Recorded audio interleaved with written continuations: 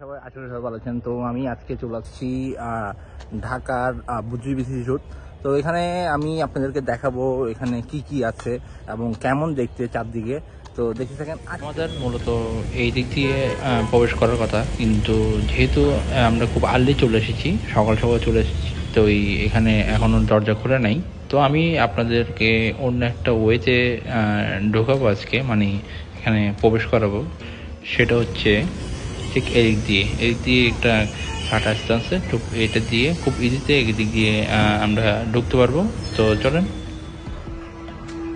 প্রবেশ করার সাথে সাথে আপনারা দেখতে পাবেন আমাদের বুদ্ধিজীবী স্মৃতিসৌধ নিয়ে নির্মিত যে ভবনটি, সেটা দেখতে পাবেন প্রথমেই প্রবেশ করার সাথে সাথেই।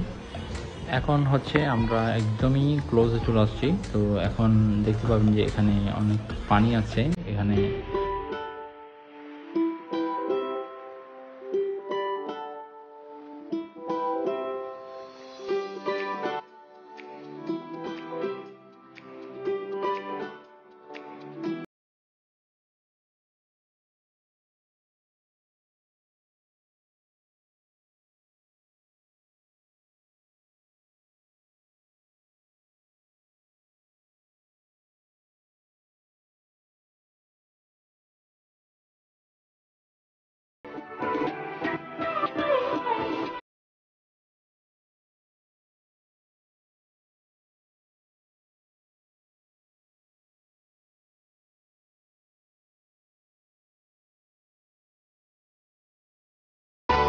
যেটা দেখা যাচ্ছে সেটা হচ্ছে সবচেয়ে অদ্ভুত একটা জিনিস।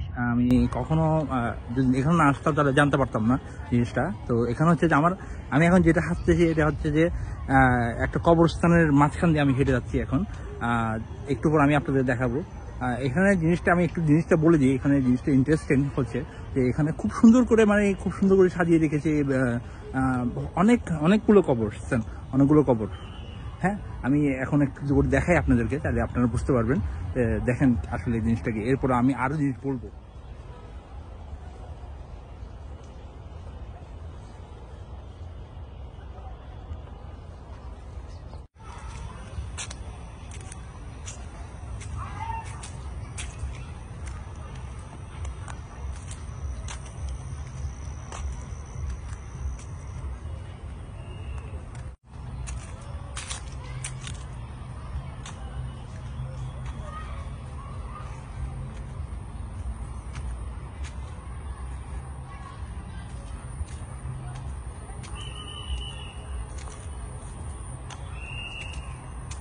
চেষ্টা করছিলাম জানি যে কোনো যদি একজন কর্মীকে যদি ব্যবস্থা করা যায় যে আপনাদের সামনে এই সম্পর্কে কিছু বলবে বা কীভাবে করে বা না করে। তারপরেও ওনারা রাজি হচ্ছিলেন না। তারপরেও আমি কিছু জিনিস জানতে পারছি যে এখানে যে কোনো মানুষ চাইলে তাদের মৃতদেহকে এখানে অর্থাৎ মানে কবরস্থানে মানে কবর দিতে পারে। শুধু সেটার জন্য শুধু বাংলাদেশের নাগরিকত্ব অর্থাৎ ভোটার কার্ড থাকলেই হয়। কিন্তু এখানে জাস্ট একটা জিনিস কি, সেটা হচ্ছে রক্ষণাবেক্ষণ খরচটা দিতে হয়। প্রতি মাসে একটা রক্ষণাবেক্ষণ খরচ আসে, যে খরচটা দিতে হয়।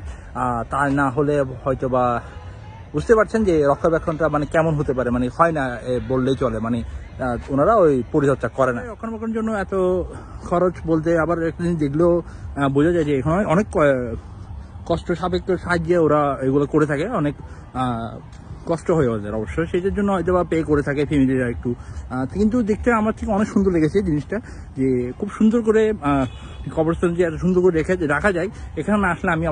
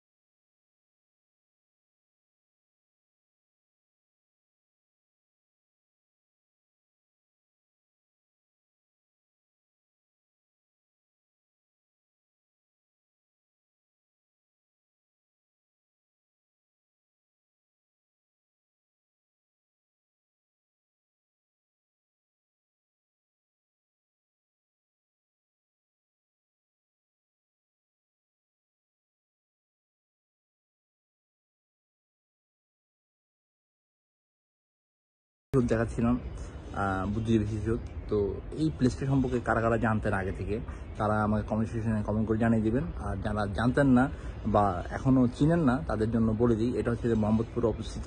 মোহাম্মদপুরে বুদ্ধিজীবী শিশু বললে সবাই যে কোনো একজন রিক্সাওয়ালা আপনাকে নিয়ে আসবে। রিক্সাওয়ালা বা যে কোনোভাবে আপনারা আসতে পারবেন এখানে।